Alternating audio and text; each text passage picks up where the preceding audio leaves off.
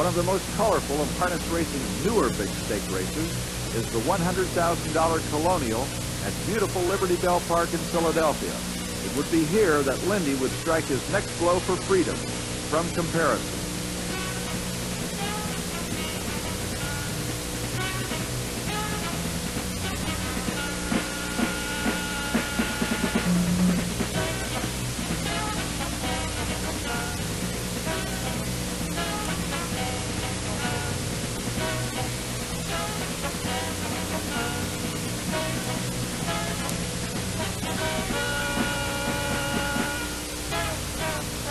This sweet land of Liberty Bell, a gigantic crowd turned out to watch one of the swiftest animals to come up the pike since Paul Revere.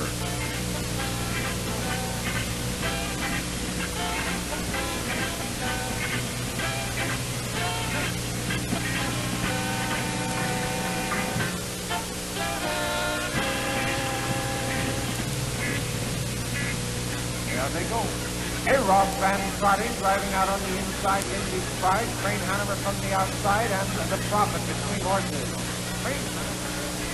Again, it was Lindy's Pride and Beissinger very content with the three and four hole, knowing full well what they could do when the strategic time came to do it.